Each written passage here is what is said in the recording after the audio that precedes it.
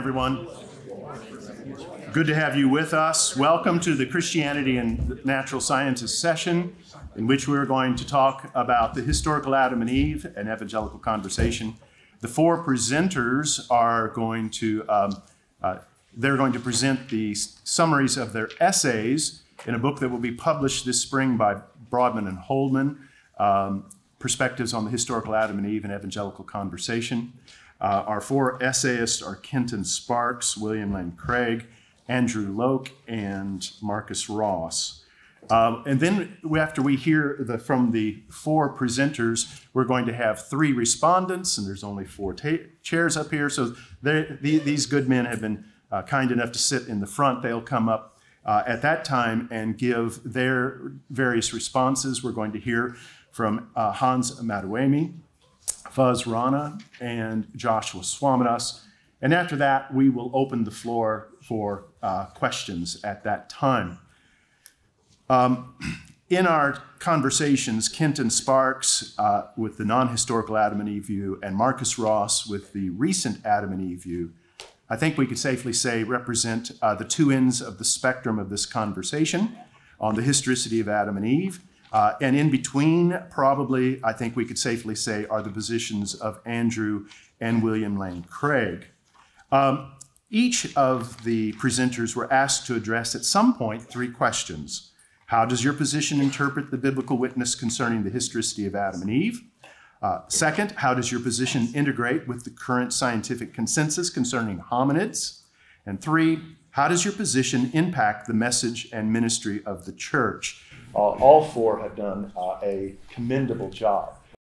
This outline that is being distributed summarizes my case for the mytho historical view of Adam and Eve.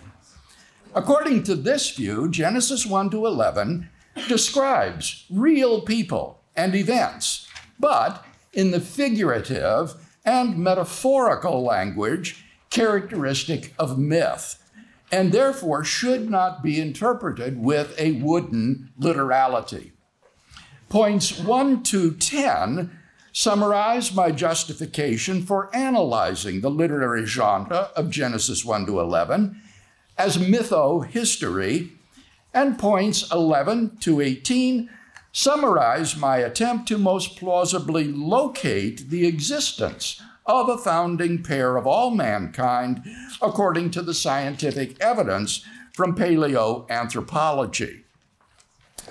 Now, I'm not going to rehearse these points today. I've defended them at length in my book, In Quest of the Historical Adam 2021. Rather, today I want to share with you some rather astonishing new evidence that has emerged since the book's publication and that provides dramatic scientific confirmation of my hypothesis. Indeed, this new evidence has emerged even more recently than our contributions to this Four Views book. When I say that it provides scientific confirmation of my hypothesis, I do not mean that it proves my hypothesis to be true, but that my hypothesis is rendered even more probable by this new evidence than it was without it. Indeed, I think that this evidence provides significant scientific confirmation of my hypothesis, so that my hypothesis is significantly more probable given this evidence. In points 12 and 13 of the handout, I mention archaeological signatures of modern cognitive behavior which push human origins back in time prior to the origin of our species, Homo sapiens. Such signatures continue to accumulate. For example, in August, a team of archaeologists announced the discovery at Kalambo Falls, Zambia, of, and I quote, the earliest evidence for the structural use of wood in the archaeological record. Two interlocking logs joined transversely by an intentionally cut notch which the excavators compare to toy Lincoln logs, were discovered. The wooden construction was dated by luminescence methods to at least 476,000 years ago, making this the earliest human construction of any sort ever found. Observing that, quote, life in a periodically wet floodplain would be enhanced by constructing a raised platform, walkway, or foundation for dwellings, the archaeologists comment. Wood from tree trunks enabled humans to construct large objects, such as platform foundations, that necessitated tools for felling and hewing trees. The structure antedates the rise of Homo sapiens and therefore is highly unlikely to have been due to our species. But according to one of the archaeologists, Geoffrey Duller of Aberystwyth University, and I quote, the complexity of the structure suggests the people who made it were cognitively sophisticated and were able to make and execute a complex plan something that likely required the use of language, end quote. This discovery is part of an ongoing pattern of archaeological signatures of modern cognitive behavior ever deeper in the primordial past, pushing human origins back hundreds of thousands of years. Even more astonishing and significant is a second new finding. In point 16 of the outline, I note that the existence of a single couple who are the progenitors of the entire human race cannot be ruled out on the basis of population genetics if they lived earlier than 500,000 years ago. Thus, my hypothesis that Adam and Eve belonged to the human species Homo heidelbergensis is compatible with the evidence of population genetics as well as with the paleontological and archaeological evidence.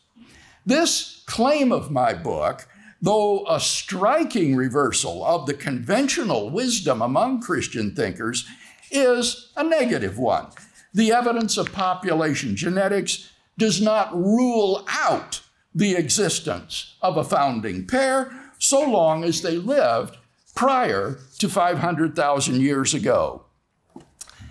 But less than two months ago, in September, a team of population geneticists using a new method of calculating population size history published in the journal Science the results of their study showing that the human population actually did go through what they call a severe population bottleneck of, on average, less than 1,300 breeding individuals over a window of time about 100,000 years between 900 and 800,000 years ago.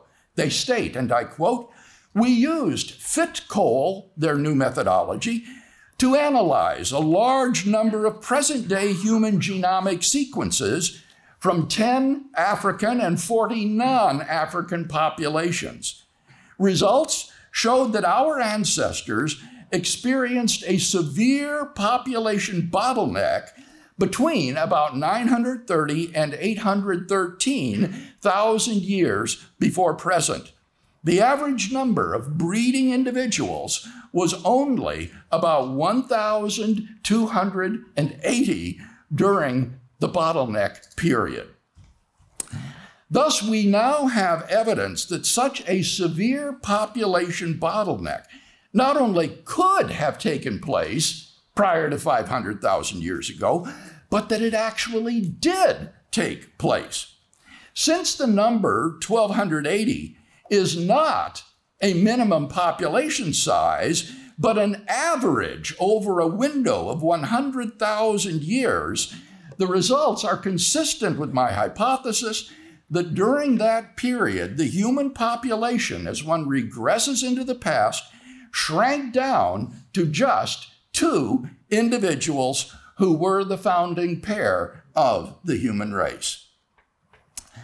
Most intriguing of all for my hypothesis, the scientists report that associated with this ancient severe bottleneck was, and I quote, a speciation event leading to the emergence of the last common ancestor shared by Denisovans, Neanderthals, and modern humans, whose divergence has been dated to around 765 to 550,000 years before present.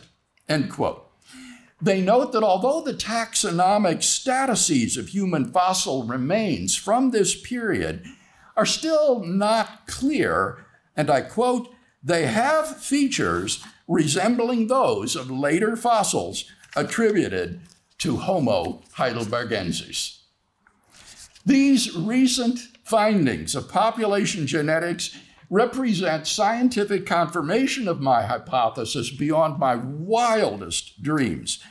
I thought that at best the evidence of population genetics would not rule out the hypothesis of a founding pair belonging to Homo heidelbergensis, but it never occurred to me that the scientific evidence from population genetics would provide positive confirmation for my hypothesis. Now, again, scientific confirmation does not amount to proof. Nevertheless, if these new results do hold up, then my model of the historical Adam is not merely hermeneutically superior, but also scientifically superior to any of its rivals.